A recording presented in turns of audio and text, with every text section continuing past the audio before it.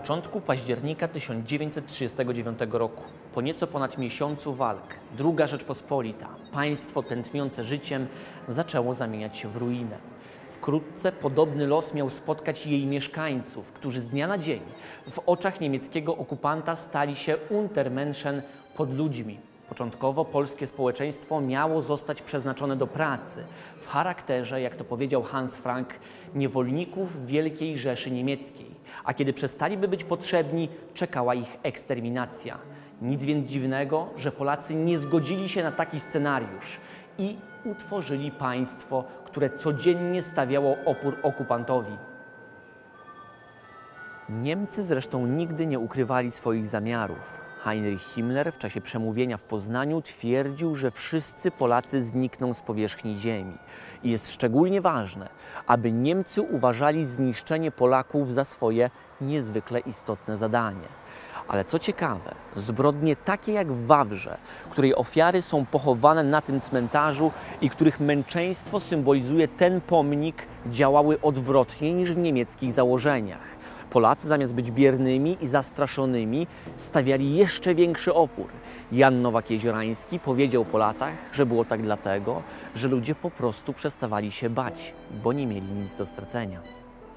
Polskiemu rządowi w Londynie zależało, aby ruch oporu został zorganizowany w konkretne organizacje, z których największe znaczenie miał ZWZ Związek Walki Zbrojnej, kierowany początkowo przez generała Kazimierza Sosnkowskiego, a w 1942 roku przekształcony w Armię Krajową.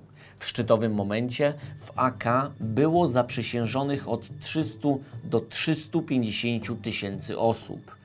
Była to niestety formacja słabo uzbrojona. Karabin miał co dziesiąty żołnierz, broni maszynowej było zaledwie 2000, a granatów około 130 tysięcy. Celem ZWZ, a potem AK było wywołanie ogólnopolskiego powstania. Do czasu zbrojnego, powszechnego wystąpienia należało utrudniać życie okupantowi.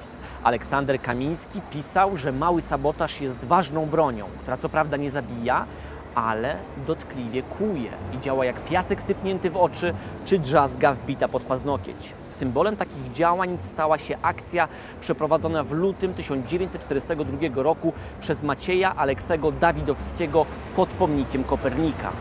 W tamtym czasie oryginalny polski tekst został przez Niemców zastąpiony inną tablicą, przymontowaną w miejscu, gdzie są teraz te gwiazdki, z tekstem dem grossen Astronomen, czyli wielkiemu astronomowi, co miałoby sugerować niepolskie pochodzenie Kopernika.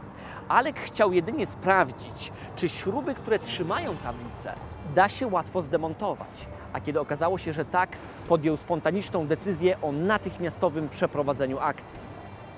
Akcja rozwścieczyła Ludwiga Fischera, gubernatora dystryktu warszawskiego, który nakazał rozwieszenie w całym mieście plakatów z informacją. Kryminaliści usunęli ostatnio tablicę z pomnika Mikołaja Kopernika. W odwecie zarządzam usunięcie pomnika Jana Kilińskiego, podpisano dr Fischer. Jak postanowił, tak zrobił i pomnik powstańca kościuszkowskiego Jana Kilińskiego został zdemontowany. Ale już po paru dniach wykryto miejsce jego ukrycia, którym były piwnice Muzeum Narodowego. Aby znowu dodać otuchy warszawiakom, Alek napisał na jego murach Jam tu, ludu Warszawy, Jan Kiliński. Ale mały sabotaż kłuł nadal, bo oprócz napisu na murach Warszawy pojawiły się również afisze łudząco podobne do tych, które wydał Ludwik Fischer. Zmienił się na nich nieco tekst, bo stanowił kryminaliści w ostatnim czasie usunęli pomnik Jana Kilińskiego. W odwecie zarządzam przedłużenie zimy na froncie wschodnim o 6 tygodni.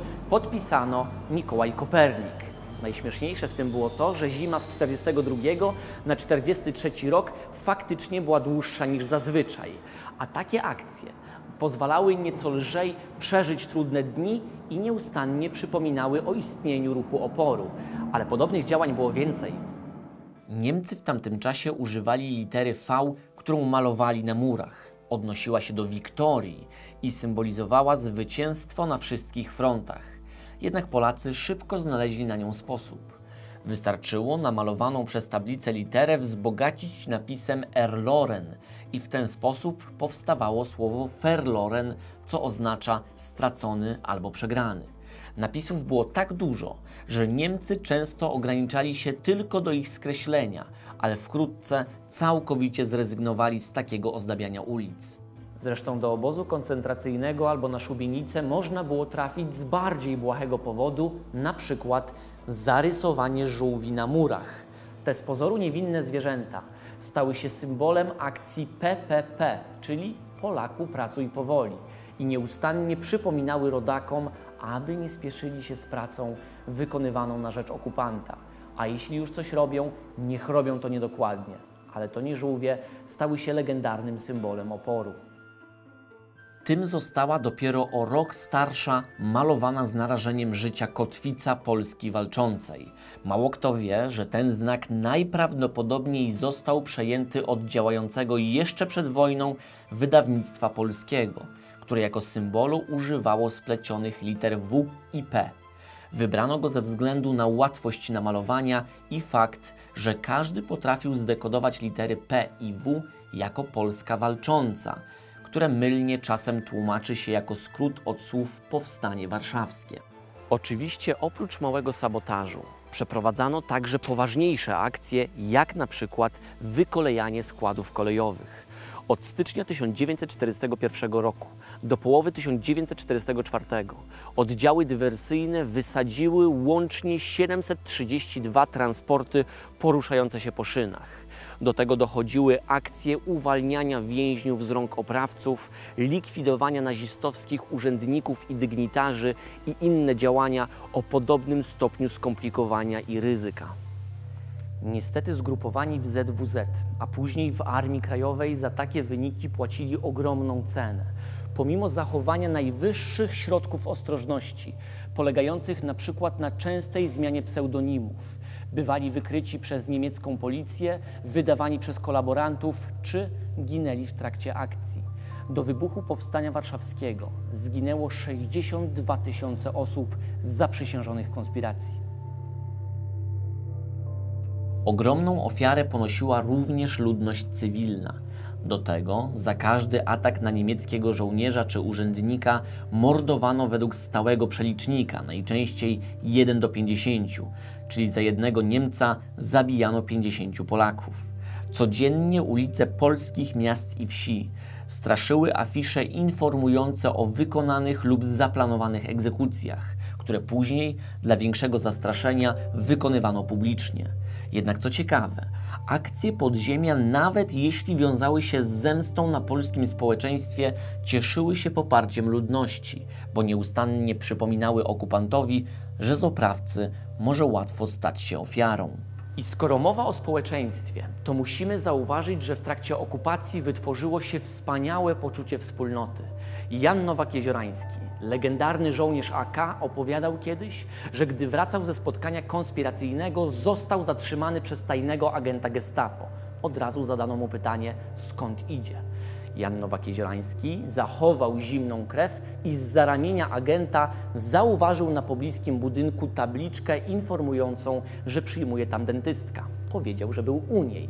Agent Gestapo zabrał go do pobliskiego telefonu, aby potwierdzić jego wersję. Znalazł numer lekarki i usłyszał, że oczywiście chwilę temu taki pacjent u niej był. A to oznacza, że z miejsca zrozumiała, że chodzi o czyjeś życie. A co jeśli ktoś nie wykazywał tak wspaniałej postawy?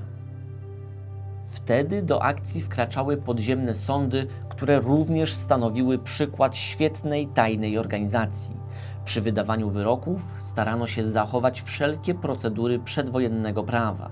W ten sposób karano szmalcowników, kolaborantów i donosicieli. Dzięki temu odstraszano ludzi od zachowań niegodnych, zwłaszcza od współpracy z Niemcami.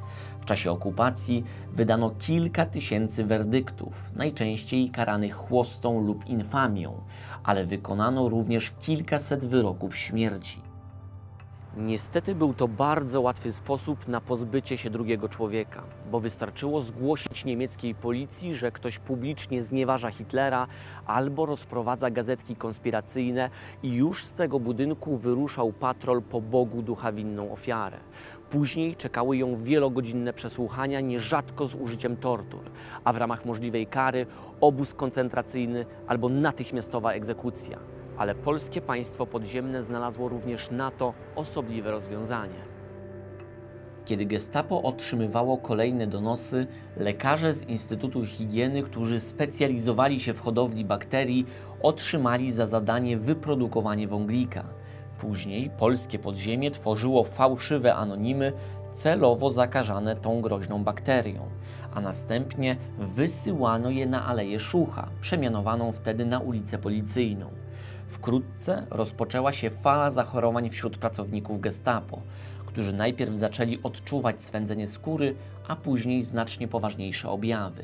Po jakimś czasie urzędnicy zaczęli bać się anonimowych listów i wyrzucali je bez czytania, co na moment rozwiązało problem donosów.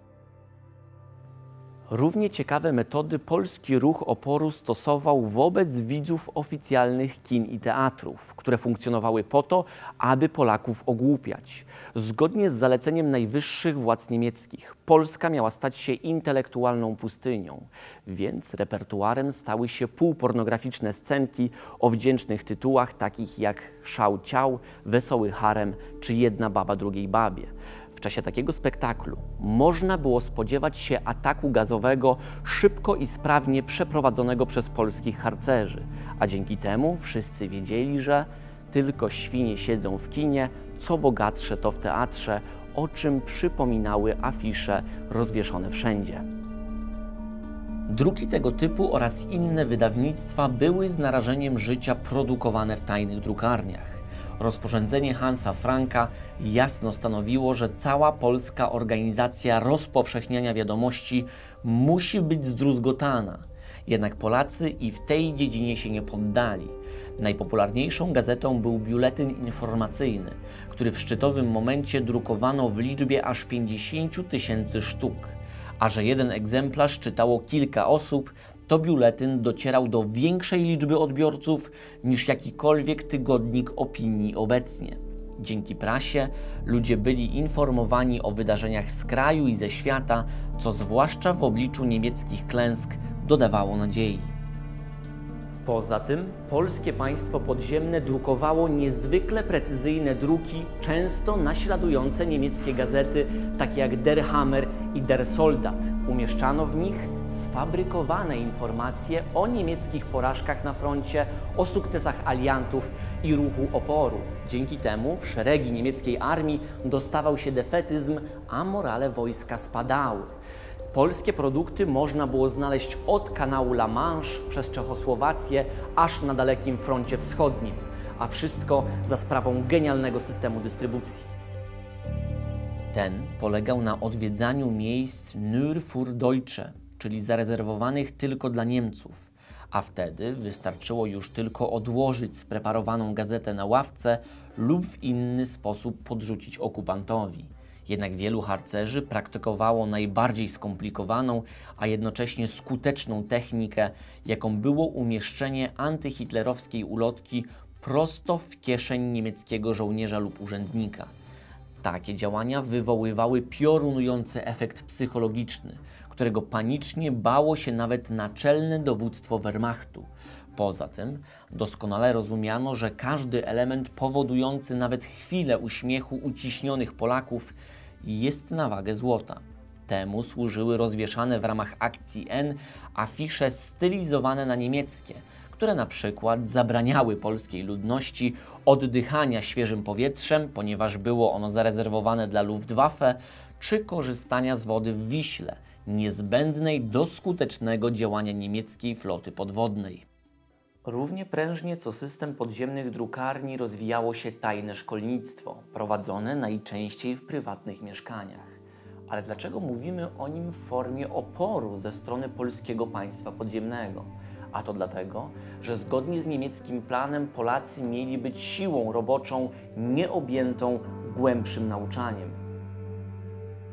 Heinrich Himmler mówił w maju 1940 roku. Dla polskiej ludności wschodu nie mogą istnieć szkoły wyższe niż czteroklasowa szkoła ludowa. Celem takiej szkoły ma być wyłącznie proste liczenie, najwyżej do 500, napisanie własnego nazwiska, wiedza, iż boskim przykazaniem jest być posłusznym Niemcom, uczciwym, pracowitym i rzetelnym. Czytania nie uważam za konieczne.